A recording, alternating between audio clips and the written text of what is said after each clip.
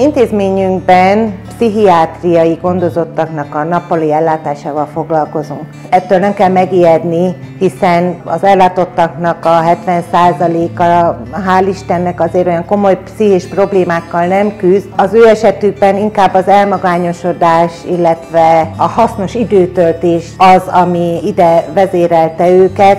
A munkánk lényege az, hogy a mentális problémával küzdő embereknek a képességeiket, készségeiket fejlesszük a foglalkozások keretén belül. Nagyon sok szorongás, pánikbeteg, depressziós, magányos ember jár hozzánk, és ezáltal ebbe a közösségbe meglelhetik azt, amivel elő tudjuk segíteni, hogy a társadalomba visszaintegráljanak.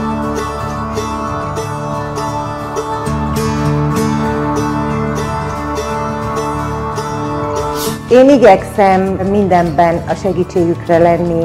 Sokszor megnyílnak előttem, bizalommal fordulnak felém, de ugyanakkor tudunk bohóckodni is, torna közben, tudunk sokat nevetni, tehát mint egy kis család. Gyógymasször vagyok, és autodidakta módon próbálom a különböző problémáknak megfelelő gyógytornát összeállítani. A pandémia idején kihirdettünk egy ilyen totószerűséget, amit minden héten ki tudtak tölteni. Elég sokan részt vettek, és az első öt helyezetnek a díjazására kerül ma sor.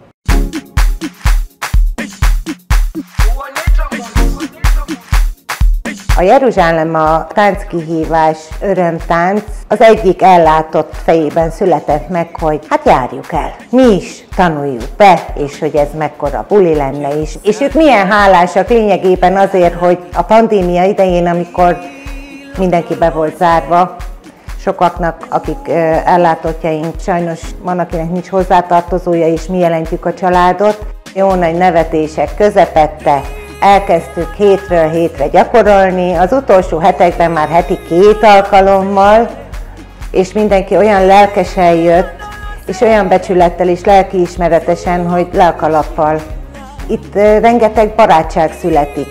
Lényegében aki mozogni, aki emberek között lenni szeretne, a legjobb helyen van.